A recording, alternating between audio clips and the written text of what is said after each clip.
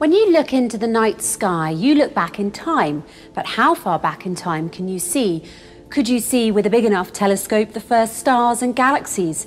And could you see the light from the great flash of the Big Bang itself? As we look out, we look back in time. We cannot look infinitely far out, since sooner or later we will see the Big Bang. The universe started from an extremely hot and dense era. As we go backwards in time, the universe gets progressively younger, hotter, and denser. But how did the cosmos go from extremely hot and dense to being filled with the multitude of stars and galaxies that dominate the night sky today? The Big Bang Theory tells us that the history of the universe's creation is a history of space eras. Each era in space lasted for a specific period and played a specific role in the formation of the universe after the Big Bang. For example, there was an era where light and matter are formed, an era where light and matter are coupled, an era where light and matter separate, and an era where atoms start feeling the gravity of a cosmic web of dark matter an era where first stars start to form, a reionization era, and so on, until the era of the many stars and galaxies that exist today. Amazingly, even though each of the past eras is considered a stage in a sequence of events that led to the creation of the universe, the evidence of each era still endures, and scientists and astrologers can still see each of them. In an article written for Space.com on March the 17th, 2014, entitled Cosmic Inflation How It Gave the Universe the Ultimate Kickstart by Karl Tate, there is a very interesting infographic that summarizes the Big Bang space era. It's a picture of a man standing over planet Earth and looking towards space. A caption over the image reads, Looking out in space and back in time.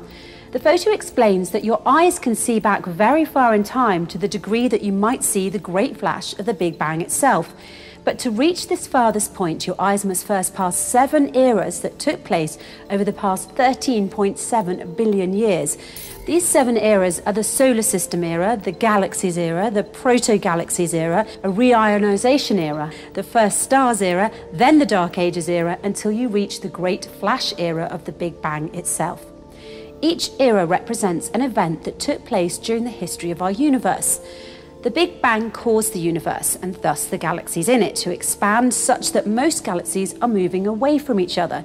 The most distant, and thus the youngest galaxies, are moving away at a very fast speed.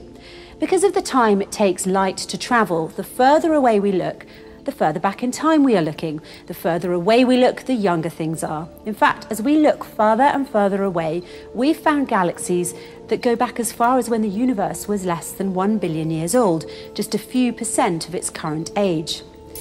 This illustration compares various telescopes and how far back they're able to see.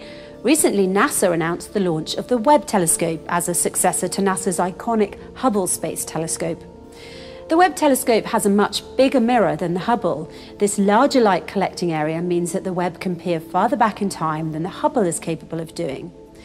In other words, the Hubble telescope can see the equivalent of toddler galaxies, and the Webb telescope will be able to see baby galaxies. Remarkably, long before NASA's Webb or Hubble telescopes that could peer into the mysterious night sky, the Holy Quran told us that who created seven heavens one upon another, you will see no non uniformity in the merciful one's creation. Look back, can you see any flaw? That's right. The Quran used the word look back to emphasize looking out and back in time through the different space eras. Think about this for a moment.